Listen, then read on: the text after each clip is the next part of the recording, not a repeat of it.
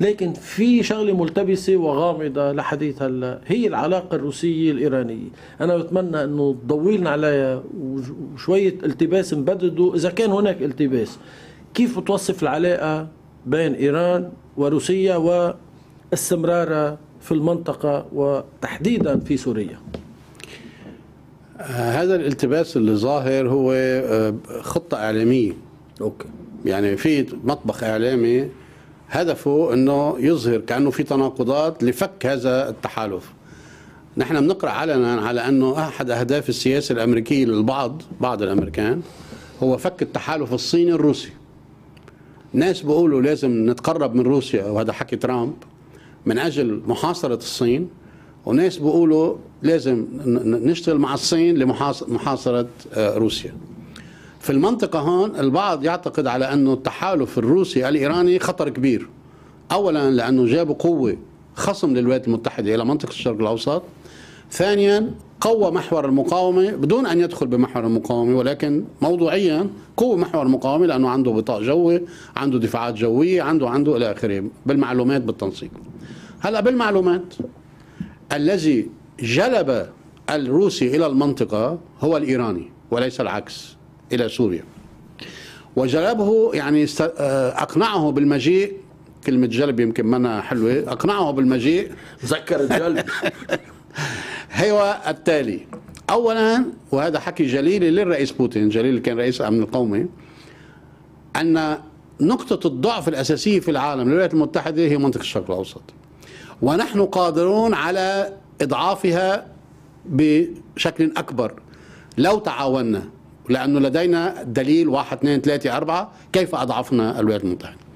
هذه النقطة هي اللي عملت كليك عند الرئيس بوتين وأخذ القرار يومها على أنني سآتي إلى سوريا بعد أن أخذ الضمانات على أنه على الأرض المقاومة هي التي ستعمل وأنه هو يتكفل في القوة الجوية.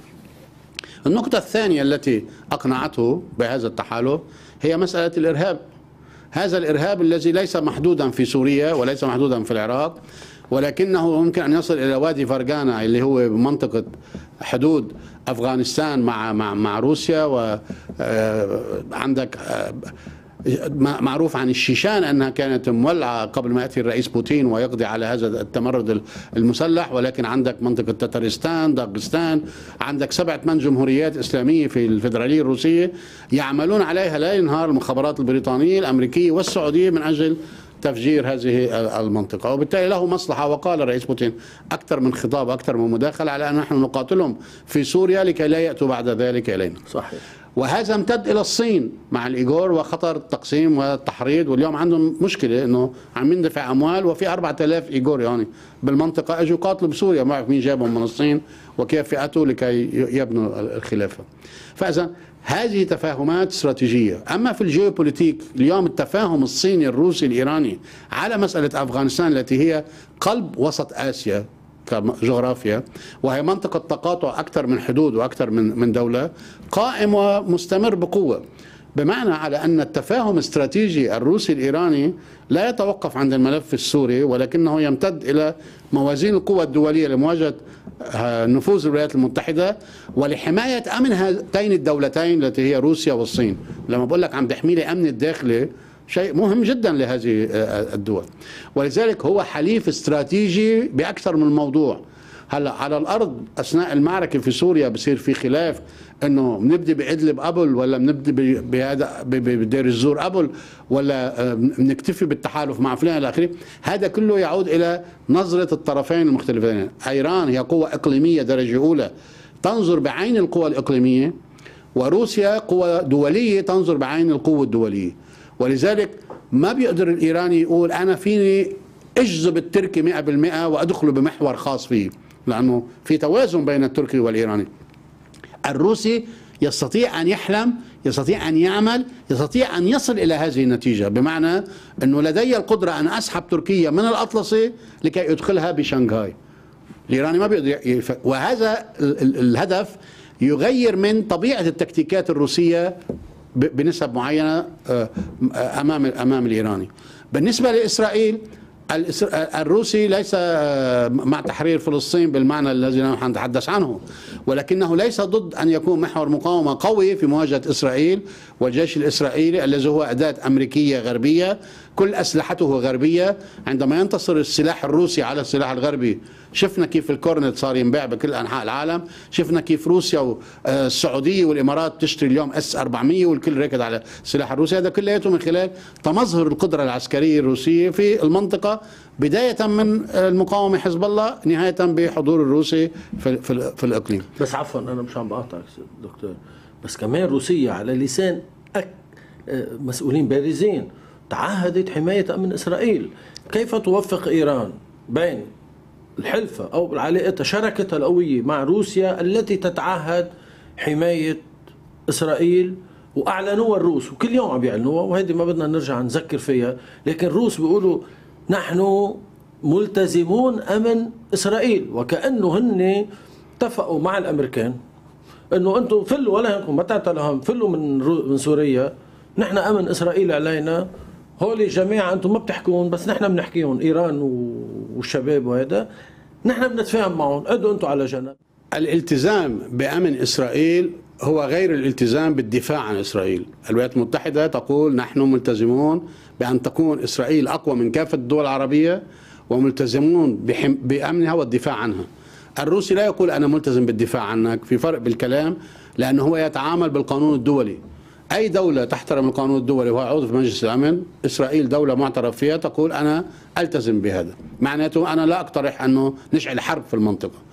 هل هو يستطيع أن يمنع محور المقاومة أن يقرر أو سوريا أن تقرر استعادة الجولان؟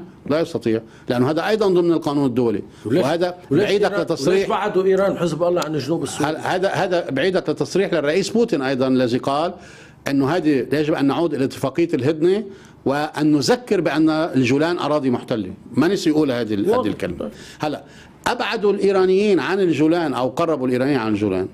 هذه مسائل جدا تفصيلية مش أقل أهمية. ليش يعني تفصيلية؟ خليني أقول لك شو بقول الاسرائيلي اليوم بعد ما انبسط نتنياهو. okay إذا ضربوا صاروخ لا هلأ الاسرائيلي بيقول أصبح لدينا معلومات إنه الجماعة شلحوا ثيابهم ولبسوا ثياب الجيش الس- السوري. آه okay طيب. هو هو عم بقول أنا ما عم بحكي. إيه، واضح واضح. إيه. اثنين أن المقاومة في لب- في سوريا موجودة كمحور مقاومة وأنهم التزموا باتفاق رسمي ايراني سوري إعادة بناء القوات المسلحة السورية بأعلى مستوى وبما تستطيع أن تتصدى فيه لكل المخاطر، ما معنى ذلك؟ أنه نحن شو بدنا؟ بدنا نبني الجيش السوري أحسن من مكان ونساعده على امتلاك قدرة صاروخية. طب شو قدرة صاروخية؟ إذا الإسرائيلي خايف من القدره الصاروخيه اللبنانية ما بالك بسوريا إذا هيدي القدرة الصاروخية السورية أصبحت مثل ما في بلبنان ورغم أنه بالمشبرح ما ما بخبي أنا دائما بحكي الأشياء اللي بيعرفها الإسرائيلي ما بخبي على شعبنا إنه 90% من الصواريخ التي عند المقاومة هي صناعة سورية أو تأتي بإمكانات سورية. فإذا هو عم يعطيني بكون هو ما عنده صناعة سورية أم صناعة إيرانية في سوريا لا لا هلا اليوم بسأل. اليوم- اليوم التكنولوجيا بتنتقل مثل ما بتاخذ طيب. أنت under license فيك تعمل طيب. أو بالت... بت... بالاشتراك franchise. franchise وأوقات في تنسيق إنه أنت عندك خبرة بشيء أنا عندي خبرة بشيء عم بيتعاونوا ما مخبئين الناس عملوا اتفاق وقعوه رسميا بين الدولتين لبناء القوات المسلحة الس- السورية فاذا اليوم مشكلة الإسرائيلي إنه في عندك محور مقاومه امتدت جبهته. بين سوريا وبين ولبنان وبالتالي الوضع أصبح مختلف بالن- بالنسبة له. الروسي أين يقف ضد ذلك؟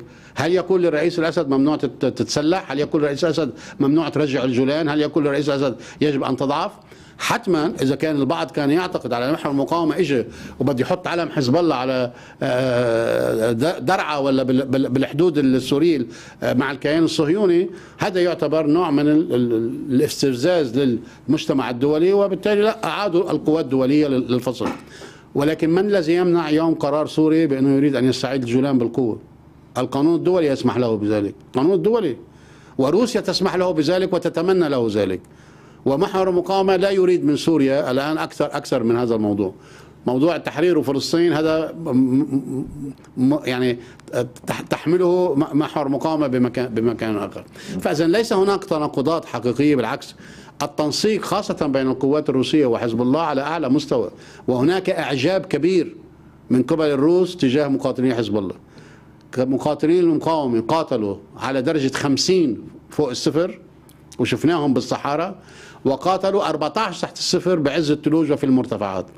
وهذا كله تحت عين الروسي وشافوا التنسيق وقدراتهم على تحريك ليس مجموعات عصابية بل وصلوا إلى تحريك لواء بأكمله للقتال على مستوى ارض واللي قاله السيد حسن إنه لما جابوا له الخبر حررنا مساحة قد لبنان على خمس مرات مزبوط هو يومتها تلبك بالهذا خمسين ألف كيلومتر مربع. صحيح. وبالتالي خمس مرات أكثر من لبنان استطاعوا أن يسيطروا عليها ويحرروها. ألوية مدرعة مؤللة ألوية تكتيكية. كل شيء. وبالتالي في تحول كبير جذري ولذلك لما أنا عم بقول 500 ألف نصف مليون مقاتل ما عم بالغ وقدرات تكتيكية وقدرات إدارية وقدرات عملياتية متفوقة جدا عما كان بال, بال, بال 2006 ولذلك شبه إنه عندنا 40 منطقة أو محور في لبنان. منطقة واحدة هي قد حجم ما كان لدى المقاومة بسنة 2000 بالتحرير.